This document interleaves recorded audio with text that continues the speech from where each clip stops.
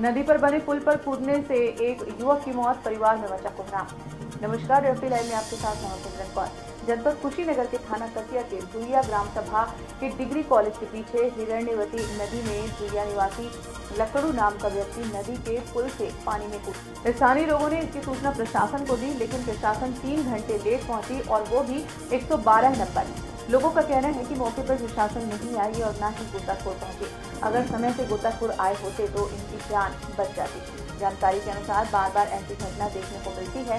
यही बगल में मुसहर टोली है जिसमें आए दिन लोग शराब बनाते हैं। इसकी प्रशासन कोई देख रेख नहीं करता। इन मुशहर बस्तियों में कोई कार्रवाई भी नहीं होती है। आइए सुनते हैं पूर्व प्रधान मनोज दास की अपनी जुबानी। भैया आपका नाम क्या है? मनोज कुमार दास। जी। आ, ये यहाँ जो घटना हुआ है इस नदी के पास ये कैस कब की घटना है लगभग और अभी इसमें तो क्या? सुना हूँ नगेंद्र यादव जी बताए हैं कि दो घट अढ़ाई घंटे पहले एक घटना हुआ है। जी। अब तक कोई प्रशासन की व्यवस्था नहीं को, कोई प्रतिनिधि की व्यवस्था नहीं। यहाँ लोग उसके घर परिजन रो रहे हैं बिलख रहे हैं। अगर शायद टाइम से गोताखोर आए होते तो शायद वो ज़िंदा भी मिल जाता।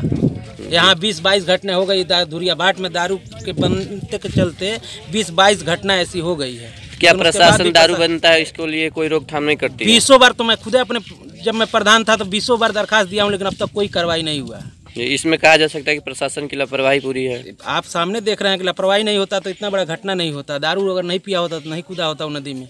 इसके पहले गुरुमिया में देखे ही हैं कि दारू पी के ही अपने पूरे बच्चों को काट दिया। जी जी।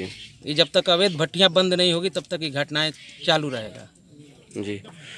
थैंक यू आप देख सकते हैं, इसमें बताया जा रहा है कि दारू के चलते यहाँ जो मुसरटोली में दारू बन रही है, इसके चलते आए दिन घटना घटती है, लेकिन प्रशासन की कमी है कि प्रशासन इस पर ध्यान नहीं दे रहे हैं। अब अभी हम चाहते हैं प्रशासन से पूछना, बताएँगे। कौन है?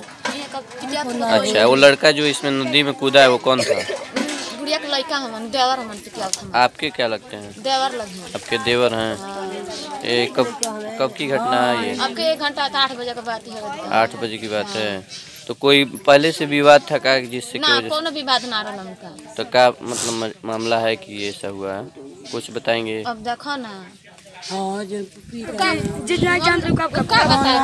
अच्छा वो लड़, ल, लड़का जो आपका है वो दारू पीता था।